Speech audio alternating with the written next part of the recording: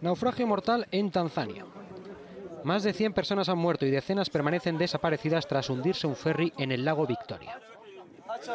El barco, operado por la agencia Temesa, cubría el recorrido entre las islas de Ukerewe y Ukora, al sur del que es el lago más grande de África. Más de 40 personas fueron salvadas durante las primeras horas del rescate, que tuvo que suspenderse hasta este viernes por falta de luz. Se desconoce el número total de pasajeros que iban en la embarcación, si bien las autoridades temen que superen los 400, cuando la capacidad máxima del barco era de 100 personas. Se teme que el número de víctimas vaya en aumento durante las próximas horas.